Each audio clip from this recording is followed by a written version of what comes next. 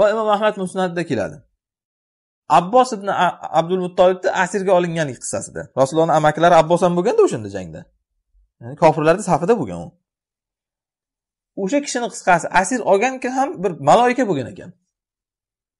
Mana payg'ambarimiz sallallohu alayhi vasallam xabar qilganlar. Imom qurtubiy tafsirlarida zikr qilganlar. Musulmonlardan bir kishi mushriklardan bir kishini ortidan quvalab ketayotgandi.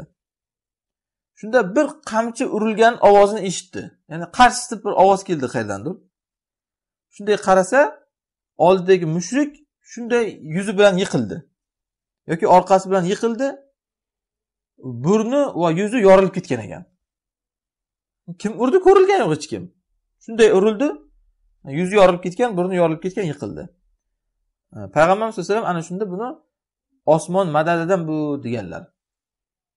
Ya'ni farishtalar kelib mana urganligidan. Endi hozir qissa boshqa joyga o'tib ketdi. Qisqasi u yuqoridagi rivoyat bor. Ya'ni abbos roziyallohu anhuni asirga olgan kishi maloikalardan bo'lgan. Buni abbos roziyallohu anhu o'zlari aytib berganlar.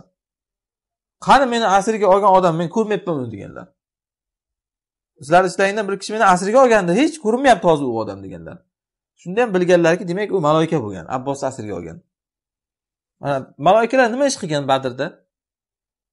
Ba'zi ulamolar aytganki maloikalar asli odam o'ldirmagan degan. Shunchaki yuqorida aytilgandek mo'minlarga himmat berib turgan bo'sh bo'shlab turgan ya'ni. Yo'q ba'zi ulamolar aytganki o'ldirgan degan. Bu ixtilof oyatda hozir mana keladi. Zamirlar kimga qaytishligidan chiqadi. Ya'ni ishoralar ular o'ldiringlar degan alloh taologa buyrug'i borda hozir. Kimga qaytadi shular? Ana shundan ixtilof chiqadi. Oyatni o'qisak hozir masala ayon bo'ladi. Alloh taolo aytyaptiki eslang robbingiz maloikalarga vahiy qilardi men sizlar bilanman. Endi bu joyini ham qarang. Men sizlar bilanman. Ko'ryapsizmi? Hatto maloika bo'lsangiz ham olloh siz bilanligini eslatib turadigan sizga bir zot kerak. Holbuki kofirlar maloikalarga tirnog'ini ham tegirolmaydi hech zararlanmaydi maloikalar ular hozir jasad holatida o'ldirilsa ham shunday maloika bo'lib chiqib ketadi yana ruh. O'lmaydi ular. Ya'ni kofirlarni qo'lida lekin shunday bo'lsa ham hattoki baribir jangga kirishdan avval yoki shunaqangi xatarli holatlardan avval odamga dalda kerak ekan. Farishta bo'lsangiz ham kimga kimdir sizga dalda berishi kerak. Olloh maloikalarga dalda beryapti qarang? Men sizlar bilanman deyapman endi sizlar bo'lsa amanu. Sizlar borib iymon keltirganlarni sobit qilinglar.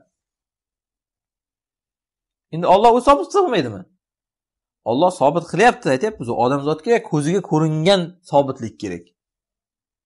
Olloh o'zi yerga tushib mo'minlarni sobit qilmaydiku. Shuning uchun ham farishtalarini tushiryaptida farishtalar orqali mo'minlarni sobit qilyapti. Farishtalarni bo'lsa olloh o'zi sobit qilyapti. Chunki olloh ular bilan gaplashadi. Ular ollohni huzuridan kelyapti o'zi.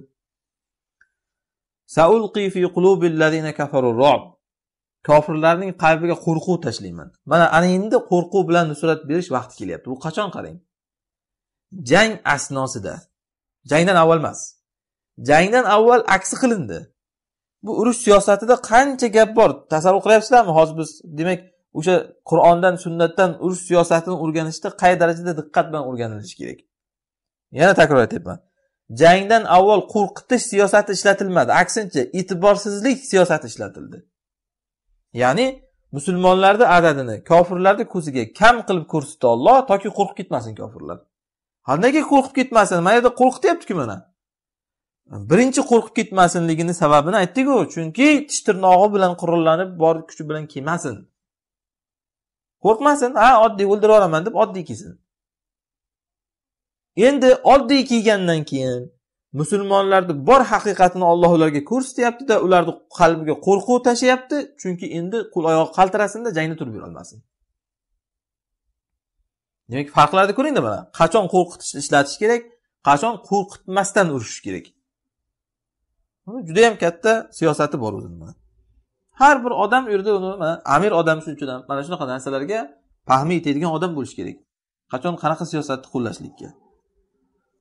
Kofirlarni qalbiga qo'rquv tashlayman deyapti olloh fazribu favqal anaq. Bo'yinlar ustidan chopinglar. Vazribu minhum kulla banan. Kofirlarni har bir bo'g'imlarini maydalanglar ana ana shu oyat hozir kimga aytilyapti? Mana shundan ixtilof chiqqan. Oyatni zohiridan bunday qarasangiz farishtalar haqida gap ketayotgandi.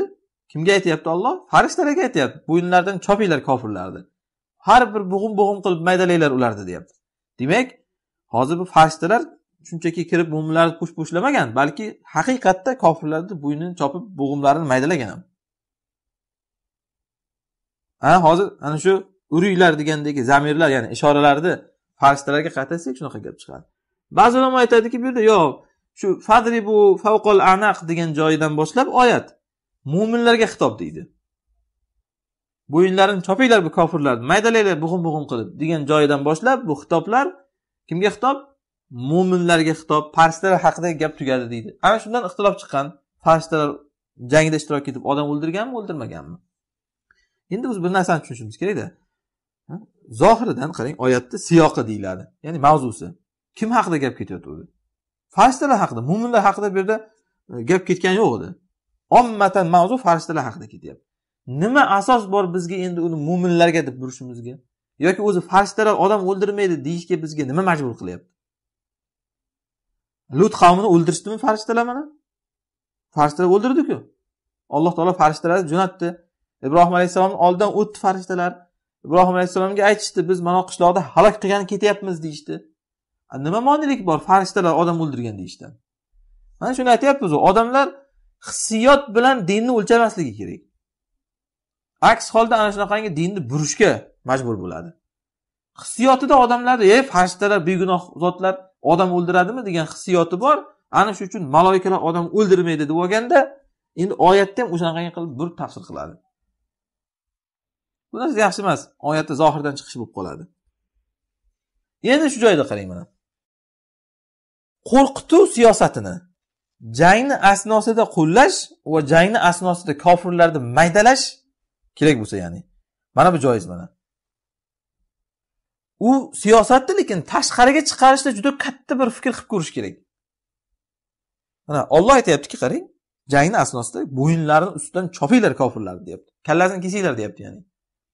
Va nafaqat kalla kesish qarang. Misrobkadan o'tqiz degandek qilib har bitta bug'um bug'umidan chopinglar deyapti.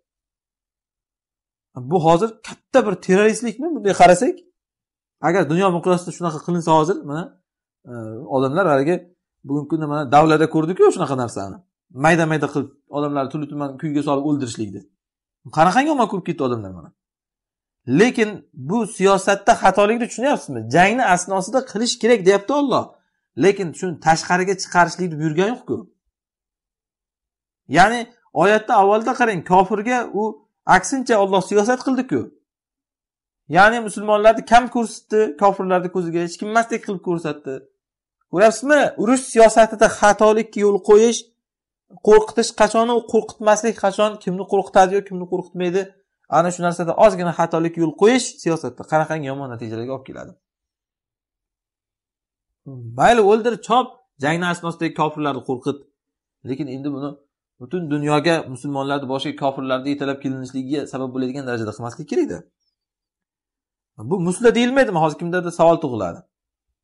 Ma'lumki musladan qaytarilgan shariatda musla degani ana shu qiymalash odamni. Musladan qaytarilgan. Lekin mana bu hozir tirikligidagi gap bu. Tirikligidagi. Musla o'lgandan keyin odamni chavaqlash qaytarilgan bu. Mumkin emas. Kofir bo'lsa ham ermakka borib alamini olaman deb haligi qulog'ini kesib burnini kesib bunaqa ish qilish qaytarilgan o'lgan odam. Lekin jangni asnosida qiymalash maydalash joiz deyilyapti buning sababi qayerga bo'lsa ham urib qol kofirni degani. E hozir mana yerga ursam cho'loq bo'lib qoladi mayib majruh bo'lib undan ko'ra o'ldirmay qo'yaveray deb qarab o'tirilmaydi jangda. Qulog'i uzilib ketadimi burni uzilib ketadimi qo'li uzilib ketadimi oyog'i uzilib ketadimi ilingan bo'g'imga ur degani ayama bu ma'no shu bundan. Hech bu yerda hozir ermakka odamzodni qiynashga ijozat berilayotgani yo'q. Bu qaytarilgan yana takror aytyapmiz. Faqat jang asnosida kofirni ayama. Qayeriga ursang ur. Qilich bilan degani. Degan. Har bir bo'g'imlaridan ularni chopinglar degan. Mana oyat tafsirida aytilinyapti. Eslang ey muhammad alayhissalotu vassalam. Robbingiz maloikalarga vahiy qildi. Musulmonlarni quvvatlagan maloikalarga men sizlar bilanman dedi. Yordam beraman sizlarga nusrat beraman. Sizlar bo'lsa iymon keltirganlarni sobit qilinglar dedi. Ya'ni ularga nusrat g'alabani xushxabar beringlar. Va ularni jangga tezlanglar ular bilan hozir bo'lib jangga tezlanglar ularni adadini ko'paytiringlar. Mana ularni adadini ko'paytiringlar. Adadni demak roli bor? Shuning uchun ham bugungi kunda mana qarang. Jihod sohasida agar aytaylik aslida hamma jihod qilayotgan bo'lmasa ham maydonda. Lekin o'sha yerda borib ularni savodini ko'paytirish ularni ma'naviyatiga yordam bersa borish kerak. Savodini degani ularni sanog'ini. Bu albatta o'sha yerda urushayotgan mujohidlarni ma'naviyatiga katta rol o'ynaydi. Masalan o'zi bir mingtacha mujohid qolgan bo'lsa boshqalar kelmayotgan bo'lsa bular o'lib ketish payiga tusha boshlaydi. Ya'ni bo'ldi o'zi hozir urushib o'lib ketmasak ah, asir tushib qolamiz yomon bo'ladi ahvolimiz keyin deydida ma'naviyat ularda susayib ketib shunchaki qatl bo'lib berishga harakat qila boshlaydi ular. Ana shunaqa holat bo'lmasligi uchun ana u yerda ularni sanog'ini ko'paytirib turishlik bu kerak narsa. Shuning uchun ham aytaylik qarang mana. Bugungi kunda ko'pchilik aytadiku nimaga jihod haqida gapiraverasizlar deydi. Ahli ilmlar jihod haqida gapirib jihod ahlini ma'naviyatini ko'tarilmasligi ko'tarmasligi. Xiyonat bu. Olloh ertaga so'raydi hali.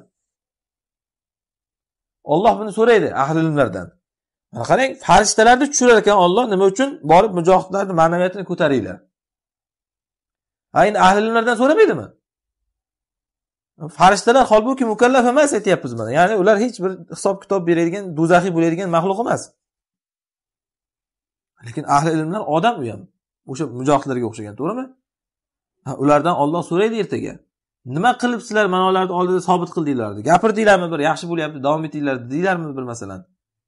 Yoki ular haqida bo'layotgan fitnalar gap so'zlarni ulardan bir aritib himoya qildinglarmi masalan? Nima qildinglar ularni oldida sizlar so'ralinadi bu. Odamlar o'ylaydiki hozir xuddiki biz ermakka gapiryapmiz yoki kofirlarni qo'rqitish uchun gapiryapmiz deb o'ylaydi uni. Hech kimni qo'rqitish yoki u jihod ahli orqali o'zimizga obro' orttirish maqsad emas bu yerda. Jihod ahlini e, jihod haqida bo'layotgan gaplarni gapirish. Kim gapirish kerak ular masalan odamlar e, ularga borib qo'shilishligi uchun yoki bo'lmasa ularni o'zi ma'naviyati ko'tarilishligi uchun? Shuni olloh so'raydi ulardan. Maloikalarda olloh aytyaptiki borib iymon keltirganlarni sobit qadam qilinglar. Nusrat g'alabani ularga xushxabar beringlar.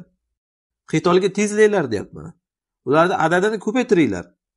Qalblarini quvvatlanglar ya'ni mo'minlarni mana bu ularni qalblariga tashlanadigan narsalar bo'lsa endi ularni jangda mana yana g'ayratini ziyoda qilib o'zlari ishtirok etishligiga ham buyuryapti alloh taolo.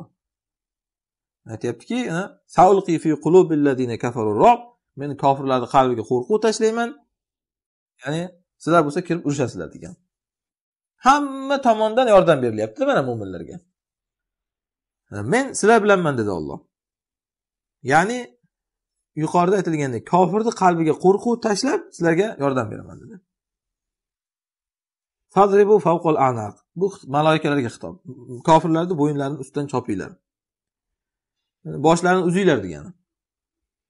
Endi aslida e, bo'yinni ustidan chopinglar degani e, yoki bo'yinga chopinglar degani tushunarliku. Ya'ni nimaga oyatda hozir bo'yinni ustidan chopinglar deyapti? Bo'yinni ustidan. O'zi qayerdan chopilinadi ma'lumki bunisi. Nimaga ya'ni shu yerda bo'yinni ustidan chopinglar deb kelgan? Masalan fadribu alal anaq desa ham bo'lardiku. Favqal anaq deb kelgan. Favqal anaq bo'yni tepasidan chopinglar. Chunki mana bu yerda u ta'kid birinchidan. Ya'ni ta'kid degani kofirlarni yuqorida aytilgandek o'ldirish darajasida urushga ta'kid. O'ldirish darajasida urushga. Ikkinchidan ana shu jangda yana kofirni so'yish boshqa bo'ynini chopish boshqa shu ikkalasini o'rtasini ajratib olishimiz kerak. So'yish boshqa narsa uni bo'ynini ustidan chopish boshqa narsa. Olloh oyatda bo'ynini ustidan chopishga buyuryapti so'yishga buyurayotgani yo'q. Kimdir aytishi mumkin? Nima farqi bor? Ikkalasida ham kalla ketadi. To'g'ri ikkalasida ham kalla ketadi. Lekin bo'g'izni tagidan so'yish bu u hayvonlarga bo'ladi odatda. Shuning uchun ham ko'pincha masalan zabh deb keladi. Bani isroil yahudlarini mana bani qo'rez yahudlarini zabh qildi deb keladi sahobalar mana. So'ydi deb keladi. Ana shu zabh aslida bo'yinni chopish iroda qilinadi ko'pincha. So'yish emas shuni bilib olish kerak. Chunki so'yish qabihroq bo'yinni chopishdan ko'ra. Bu hayvonga ishlatiladi so'yish odam o'ldirganda uni o'sha bo'ynini chopish kerak. Jallodlar masalan qarasangiz bo'yinni chopilinishlar e, bu hech qanaqangi haligi xunuk ko'rinadigan narsa emasda bo'yinni chopishlik ya'ni ularni har bir bo'g'imlaridan maydalanglar dedi alloh taolo. Ya'ni barmoqlarni uchlari qo'l oyoqlari barmoqlaridan maydalanglar degani. Ba'zilar buni qo'lga qaytlagan ekan. Qo'llarini barmoqlarini bo'g'imlaridan maydalab maydalab chopinglar deb qaytlagan ekan. Ba'zi ulamolar aytgan ekanki bu odamzodni hamma atrofiga kinoya shu iroda qilinyapti. Ya'ni atrofiga degani qo'l oyoqlar bo'g'imlar borku tirsak yelka tizzalar to'piqlar ana shu ilingan joylaridan o'zinglar chopilib chopilib ketadigan qilib.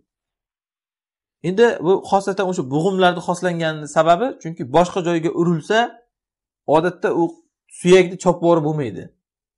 Quruq go'shti osilib shunaqa bo'lib yuradi. Shuning uchun ham haligi uzib yuboradigan qilib uringlar degan uzib yuboradigan joyga. Masalan qassoblarni qarasangiz molni so'yganda qo'yni so'yganda o'sha haligi bo'g'imlarini yaxshi bilganligi uchun shunday go'shtni chiroyli qilib kesib oladiyu. Qayerdan bo'g'imlar bo'linadi?